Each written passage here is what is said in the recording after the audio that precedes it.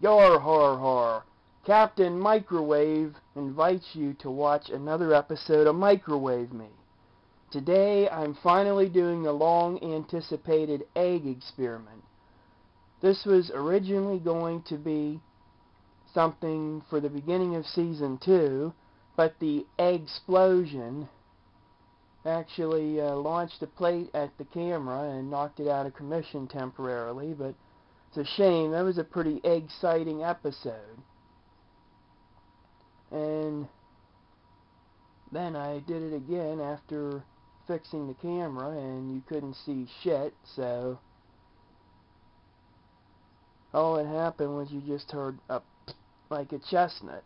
But today I am actually going to do an egg.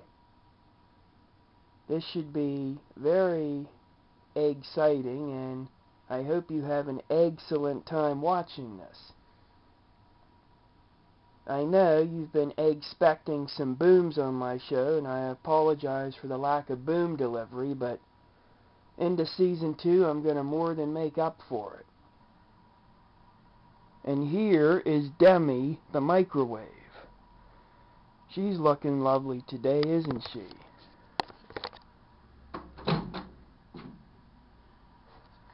She can also be a little bit of a pain in the ass, but she's worth it.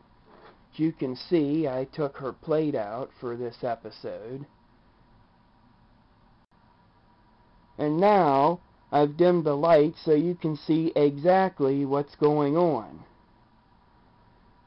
I'm Gonna do five minutes just to get my boom.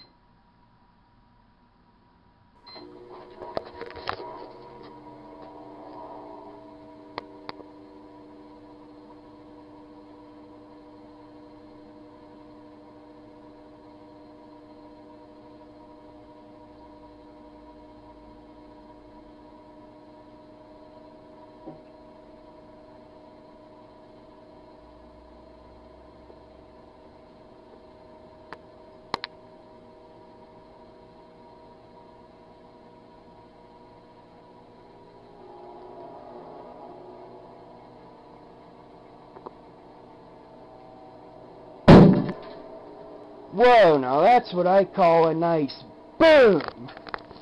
That egg didn't last as long as I hoped it would, but it is sort of everything I was hoping for. That egg didn't just boom, it boomed! Now, even though it didn't last as long as I was hoping, it did give the nice boom that we were hoping for.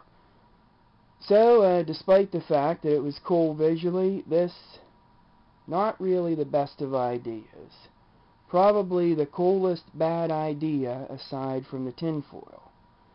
Safe to try at home if it's not your home microwave if you take the plate out.